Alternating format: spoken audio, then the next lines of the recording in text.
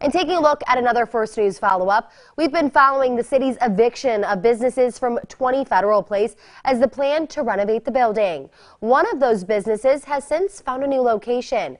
Top Notch Meals has relocated to Youngstown's west side on Mahoning Avenue. First News reporter Desiree Goslin attended the ribbon cutting ceremony and talked with the owner about what the move has been like.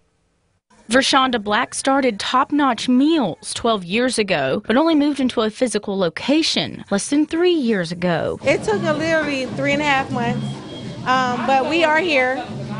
Um, it was frustrating just picking up a business and moving to a whole nother location. She says moving from downtown to her new location is a blessing in disguise. We started in a small location. Now we're in a bigger location. Our hours can expand and we our menu can expand as well. Black's friends and family say her can-do attitude is a testament to the resilience of her spirit. Because of all the stuff that happened downtown Youngstown, and I'm just so happy that she was able to find a new place, and she's here now. She's a fighter. She ain't gonna let nothing uh, keep her down.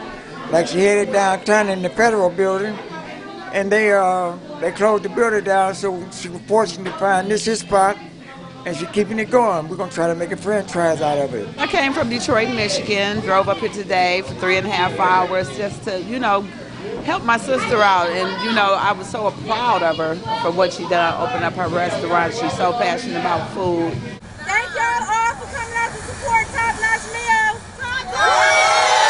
After the ribbon cutting ceremony, it was standing room only inside.